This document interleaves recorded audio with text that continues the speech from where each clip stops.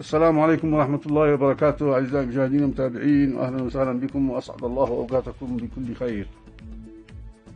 اليمن إن قال كلمة ثلاثة أيام فليحسب الجميع له ألف حساب.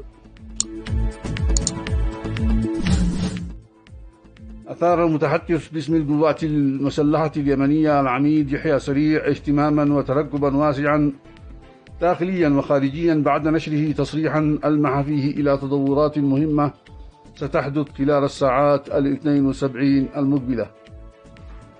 وكتب العميد يحيى سريع على حسابه الرسمي في منصة التدوين إكس ثلاثة أيام.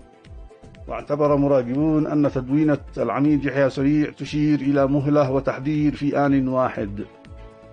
في الأثناء كان نائب مدير دائرة التوجيه المعنوي في وزارة الدفاع بحكومة صنعاء العميد عبد الله عامر في تدوينة له على إكس 72 ساعة.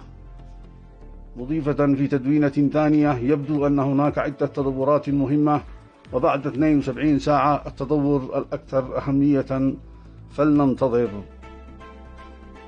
مؤكدا في تدوينة أخرى أن اليمن إن قال كلمة ثلاثة أيام فليحسب الجميع له ألف حساب. برأيكم أعزائي المشاهدين والمتابعين ماذا سيحدث بعد ثلاثة أيام؟ أرجو أن أرجو أن تخبروني بذلك في تعليق وأشكركم على حسن المتابعة والإصغاء ولا تنسوا الإعجاب والتعليق على الفيديو والاشتراك في القناة. وتفعيل جرس التنبيهات والسلام عليكم ورحمة الله وبركاته.